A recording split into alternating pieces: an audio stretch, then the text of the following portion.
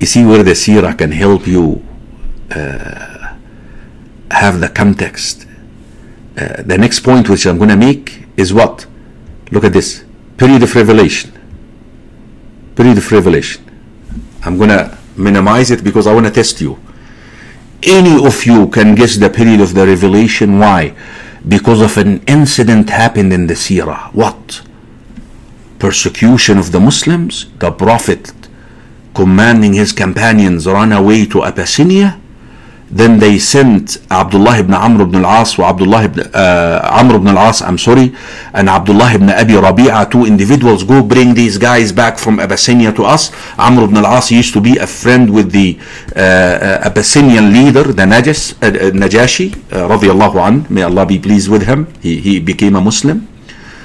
And Amr ibn al-As went there and trying to convince the Abyssinian uh, ruler, uh, which called the Najashi, in English we call it the Negus, uh, to give him back the few Muslims, Ja'far, and, and he tried to uh, uh, to make the uh, devout Christian, the Najashi, resent the few Muslims and he brought up the issue of Jesus, peace be upon him. He is the son. billah, he is not. He is a slave of Allah. He is a slave of Allah. And Ja'far stood out there, brothers and sisters in Islam. No compromises whatsoever once it comes to the matters of beliefs. You can't make people happy over your tawheed. Ja'far stood and he said, I'm gonna say what Allah and His Messenger said about the issue. And he decided to let the Quran speak. Guess what he recited to him? Surah Maryam. The beginning of it. And subhanallah, the Najashi accepted Islam. He became a Muslim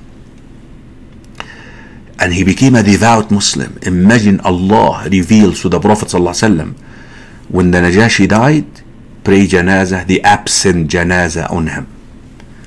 So now obviously the companions before they migrated to Abyssinia, this chapter already was revealed. And they memorized it and they took it with them. So now you could tell the period of revelation, can you? You see how how the seerah helps you define the context of the Quran? From various narrations, we learn that the surah was revealed near the end of the fourth year of the prophethood, uh, which was extremely difficult time for Muslims. The Quraysh were frustrated with the inability, with their inability to stop the message of Islam from spreading so they became ruthless. They restored, uh, they resorted, I'm sorry, to uh, the method of torture, beating and starving and harassing and boycotting.